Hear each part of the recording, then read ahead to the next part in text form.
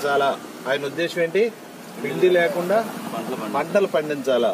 కారణం ఏంటంటే జనాలు ఇండియా మొత్తం మీద రోగాల బారిన పడిపోతున్నారు.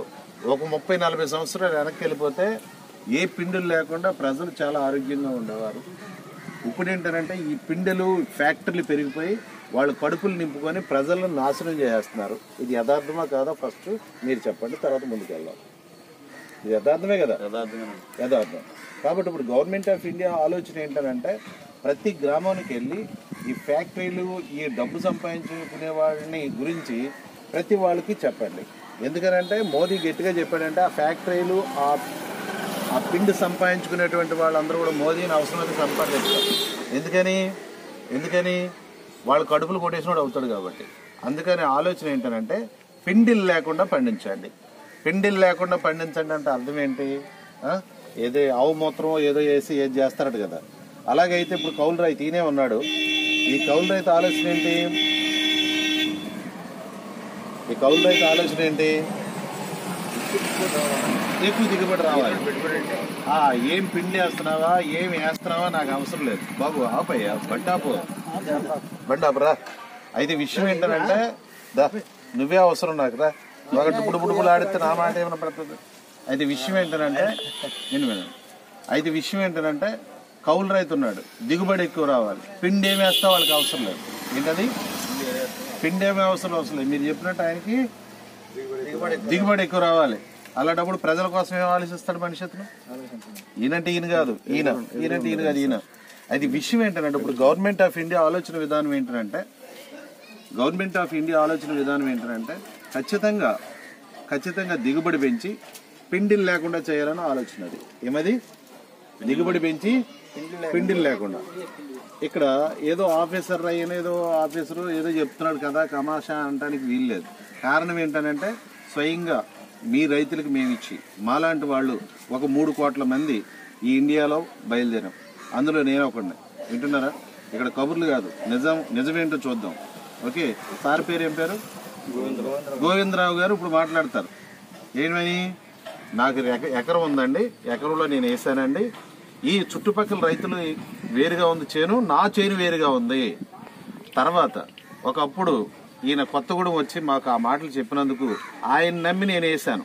వేసాను కాబట్టి ఇప్పుడు ఆ పక్క రైతు ముప్పై బస్తాలు పండిస్తుంటే నేను ఈరోజు యాభై బ్యాగులు తీసుకున్నాను అంటాడు. ఎప్పుడు? ఎప్పుడు తర్వాత ఫలితం వచ్చినప్పుడు. ఆ వీడియో మళ్ళీ ఇంకో దగ్గర చూపిస్తాం. అర్థమవుతుందా? అలాంటి వీడియోసే మీకు చూపిస్తాను ఇప్పుడు. తర్వాత రెండోది ఏంటంటే ఇది ఎలాగ పండుతుంది ఎలాగ అభివృద్ధి అవుతారు అన్నటువంటిది కళ్ళకు కట్టినట్టు మీకే కొన్ని విశేషాలు మీకు చూపిస్తాను ఓకే? ఇలాంటి జనాలు చాలామంది రావచ్చు చాలామంది పిండ్లు అమ్ముకోవచ్చు చాలామంది చేయొచ్చు. అందరూ వేరు ఇది వేరు. Okay? Good morning Vestige family అందరికీ. మేము ఈరోజు పొలాల దగ్గరికి రైతుల దగ్గరికి రావడం జరిగింది ఈరోజు. వచ్చి మొత్తం ప్రోడక్ట్ కోసం చెప్పడం జరిగింది. Agri eighty eighty two eighty two agri granules ఇవన్నీ చెప్పడం జరిగింది. రైతులందరూ తీసుకోవడం జరిగింది. ఒక పదిహేను మంది వరకు వచ్చారు ఇప్పుడు. అందరూ కూడా బాగా యాక్టివ్గా ఉన్నారు. మేము వాడతామండి. ఇది కెమికల్స్ ఉండేవి మేము వాడమండి అని చెప్పారు. ఈరోజు ఇన్ని కలిసి తీసుకో మాట్లాడాము. మాట్లాడితే ఆయన తీసుకున్నారు ఈరోజు తీసుకుని వాడి చూస్తామండి తర్వాత పక్క రైతులకి అందరికీ చెప్తామండి అనేసి అన్నారు. Okay sir. ఓకే అండి. ఆ, రైతు గారు మీరు కూడా ఒక రెండు నిమిషాలు చెప్పండి. మీ అనుభవాన్ని. మీ పేరు చెప్పండి. నాయుడండి వెంకటరామయ్య అండి. మీ ఊరు? ఊరైతే ఎదిరిపిల్లండి కొత్తగూడెం అంటున్నానండి కొత్తగూడెం అంటున్నారు సరే ఈరోజు జరిగిన విషయాలు చెప్పండి. అదేండి ఈరోజు అదే డెమోన్స్ట్రేటర్ వచ్చారు. పొలాలన్నీ చూశారు ఆ అదే మెటీరియల్ అన్నీ చూపించారు.